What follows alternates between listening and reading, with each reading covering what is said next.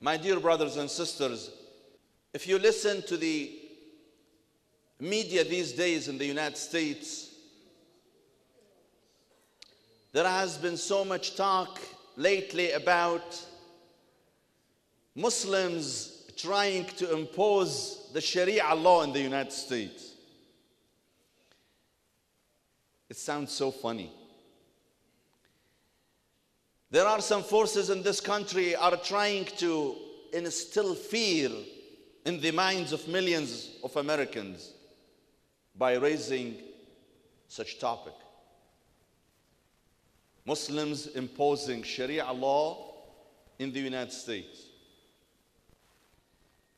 And unfortunately, there are some people who are influenced by the, that kind of talk who are really concerned that Muslims are invading the United States and soon they will impose the Sharia law. Well, first of all, Muslims in their own countries were not able to impose the Sharia law, not alone the United States. Number two,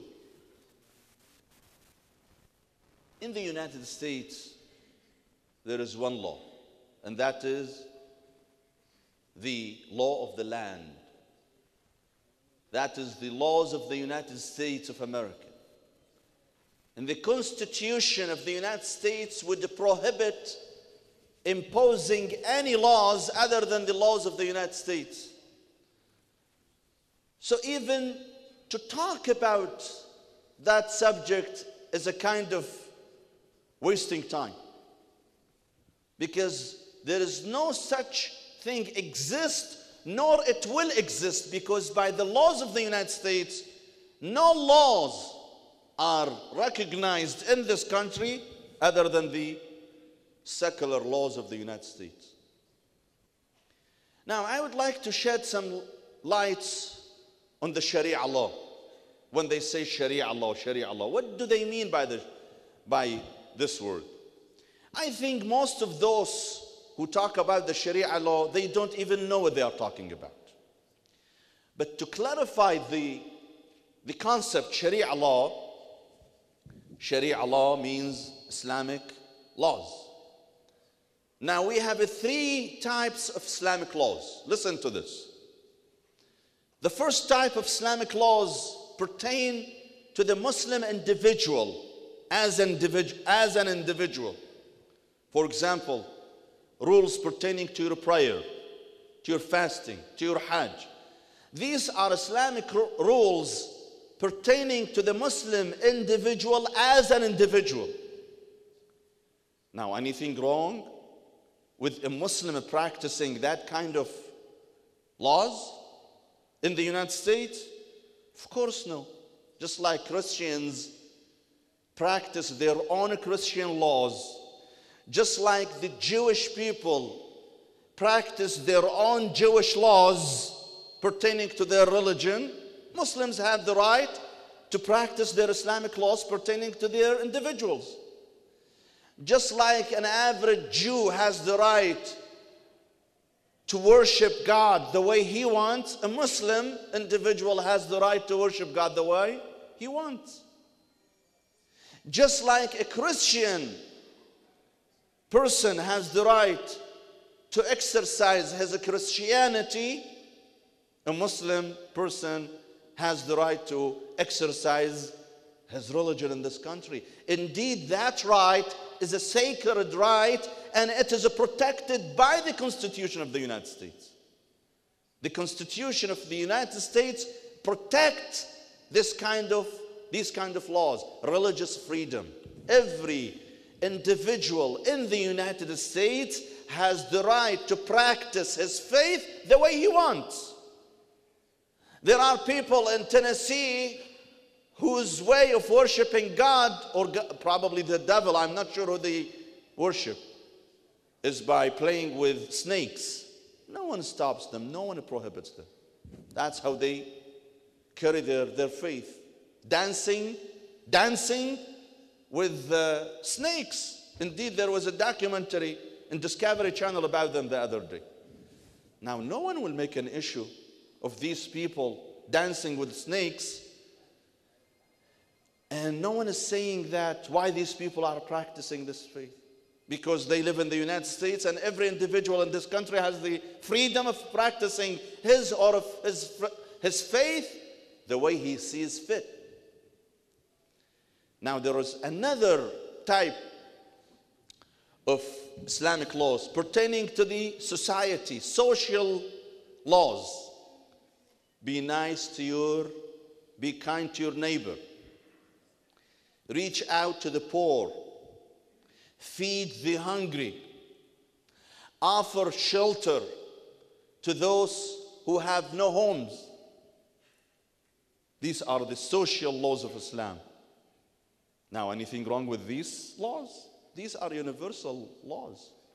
These are universal values that most American people believe in. Believe in. These are shared values be, between humankind.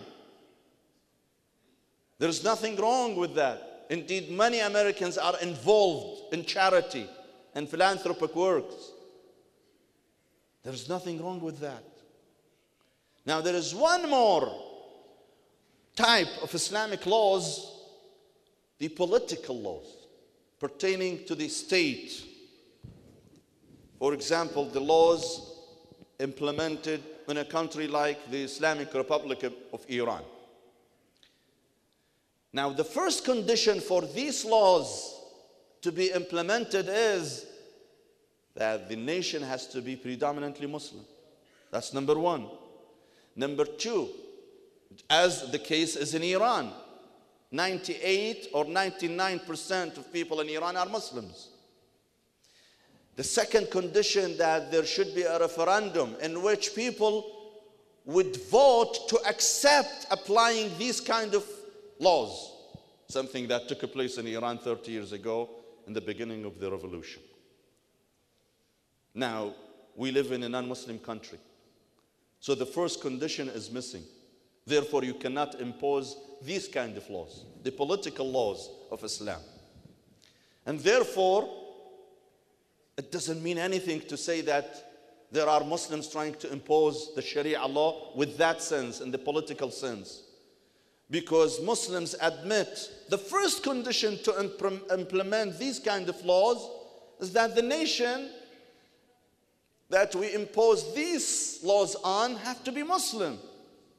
We have 1% of Americans are Muslim, if not less. So we cannot, Muslims will not ask for such a thing. Therefore, I think this discussion about the Sharia law is aimed at one thing only. And what one thing? To scare people off from Islam and to scare people away from Islam and to increase and instill hatred in the mind and heart of Americans against Islam. And it is so unfortunate to see people like Newt Gingrich, the former Speaker of the House, Senator Sharron Angle, a senator from, U.S. senator from, uh, I guess, uh, the City, what is called the, huh? Nevada. And people on that caliber talking about Muslims imposing Sharia law in Dearborn. They can come to Dearborn, they can come and visit Dearborn and see themselves with their own eyes that there is no such a thing. Indeed, we had the mayor of Dearborn yesterday here speaking to a huge number of people, community leaders who gathered here. We have the US laws implemented in Dearborn.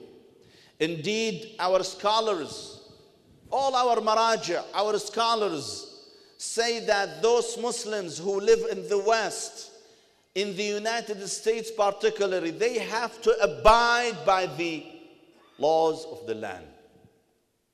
They have to abide by the laws and rules implemented in the United States. And going against these laws are a sin. This is what many of our scholars are saying. So, my dear brothers and sisters, I'm sure you will be asked that question by many people in this country. What is this Sharia law thing you Muslims are trying to implement? There is no such a thing. Our enemies, unfortunately, are trying to use this propaganda to tarnish the image of Muslims, to depict us as fanatics, as fanatics, as extremists, and also to question our loyalty to this country. And we should not let them do that. My final comment, my dear brothers and sisters, many people are asking about the visit, the intended visit by Pastor Terry Jones. I mentioned two weeks ago, I spoke about that. And I said we should ignore this guy and not give him much attention. Some people misinterpreted what I meant. They thought what we meant by that, that we're not going to do anything at all. If he comes here to the Islamic Center, we will not have any kind of gathering. That's not what I meant, my dear brothers and sisters. What I meant is that this man should not be the center of attention. We need to clarify to American people what Sharia law is. We need to educate them. And of course, we will take this opportunity, the visit by this person, to further educate Americans about our faith. So the, the attention should be centered on the American people, not on Terry Jones. That's what I meant. We should not get into reactionary mode. He attacks us and we attack him. That's what I meant. Because then, if we do that, we are feeding into his propaganda. We are boosting his agenda. And that's what he, that's what he wants. He's looking for notoriety and he is aiming at provoking us, and we shall, we shall not let him achieve neither goals. We should not let him provoke us, nor we should let him that opportunity to promote himself in the media. So, of course, there will be actions taken by, by the Islamic Center and community leaders, and even by many Christian leaders who came and visited the Islamic Center and they expressed their unresolved support for the Islamic Center. They said, We will be standing with you. I have been receiving many, many calls and emails, mostly from non Muslims, pastors, head of churches, ordinary citizens who are telling me that, Imam, we are 100% behind you. We will support you. And if you call on us, we are willing to come with our own congregations and stand by you. And we salute these people. We have many friends. Many people are abhorred with what Terry Jones has been doing. The man burned the Quran last week. What happened? 22 innocent people in Afghanistan were killed. We hold this lunatic person the responsibility. Yet we condemn these killings. We believe that there was no justification whatsoever for killing these innocent people. These were workers who, are, who, who have been working diligently at the United Nations offices in Afghanistan. These people should have been rewarded for their work, not killed. Unfortunately, they were attacked by mobs, by lunatics like Terry Jones. But in the end, Terry Jones takes the blame for inciting such hatred in Afghanistan and elsewhere. For it was not for his incendiary, incendiary rhetoric, there would have been no killing. And I'm afraid there would be more killing if this man will continue his stupid actions. We will call on you, my dear brothers and sisters. Next week, we will tell you exactly what the plan is if this man will continue to uh, his plans because as of now we have heard that he is he might not be coming to the Islamic Center rather he may go to the uh, city hall so if it's confirmed that the man is coming to the Islamic Center we will let you know of our plan, my dear brothers and sisters. We will have gatherings on Thursday, the day before the Good Friday, and on a Friday. And inshallah, we will disclose that next Friday. We will tell you exactly what the plan is, and we want your support and we want your help. اللهم اغفر للمؤمنين والمؤمنات والمسلمين والمسلمات الأحياء منهم والأموات تابع اللهم بيننا وبينهم بالخيرات إنك مجيب الدعوات إنك قاضي الحاجات إنك على كل شيء قدير. وإلى أرواح المؤمنين والمؤمنات ولشفاء مرضانا وقضاء حوائجنا نقرأ السورة المباركة الفاتحة.